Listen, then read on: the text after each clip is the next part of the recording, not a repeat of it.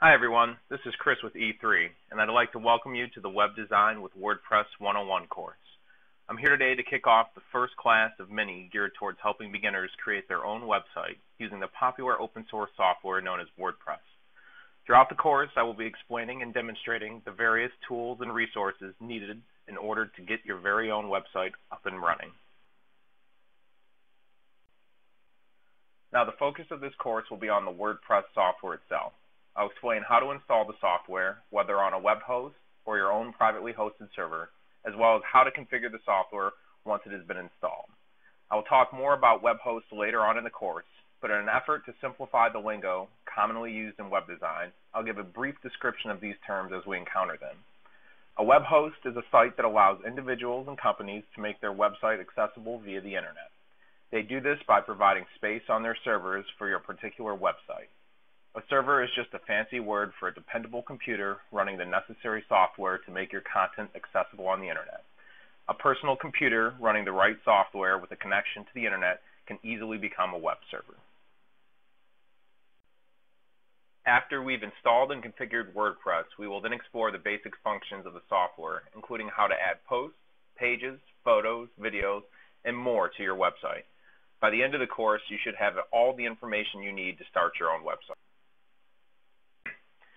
In addition to a brief tutorial on using WordPress itself, this course will also cover basic information concerning web hosting, registering domain names, and search engine optimization. These topics are essential to getting your website online and will be explored prior to jumping into the WordPress tutorial itself. At this point, you may be asking yourself, what exactly is WordPress? WordPress is a blogging tool as well as a content management system based off the popular programming languages PHP and MySQL. It originally came about as a blogging platform, but has since evolved into a full-fledged website creator and internet marketing powerhouse. It is currently one of the most commonly used blogging systems on the web according to Forbes magazine, with approximately 60 million websites utilizing the software. Why is WordPress so popular on the web?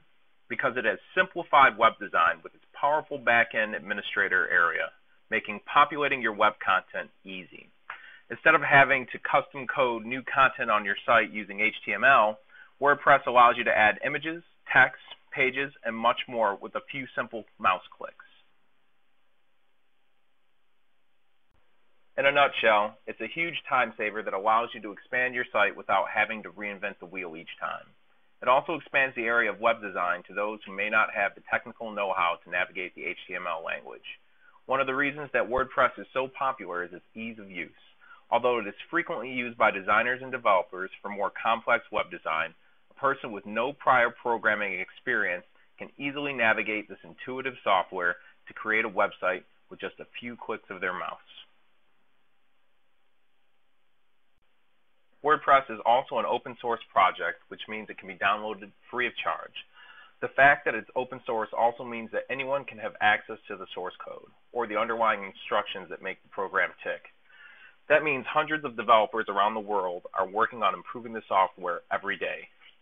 This helps to promote good maintenance of the software through frequent updates made available to the community, as well as promoting future development of the software. Open source projects normally have more people working on the software than the commercially available equivalents, simply because there are no financial limitations involved with developing and updating the software. Not only is WordPress free to download and use for your own personal website, it can also be used for commercial purposes without having to worry about paying anyone a licensing fee. I also want you to keep in mind that there are an abundance of resources on the internet to help you create your own website. Don't get discouraged if you run into issues while trying to set up your website. There are countless websites and internet forums available on the internet that deal with most of the issues you may encounter while building your website. As we progress through the course, I will mention those resources that may be able to help you if you run into any problems. Just to recap, this class was meant to give you a general overview of what to expect throughout the course. As the course progresses, we will talk about how to find an appropriate web host for your particular needs. We'll discuss potential considerations in choosing a name for your website and how they may impact the visibility of your site on the internet.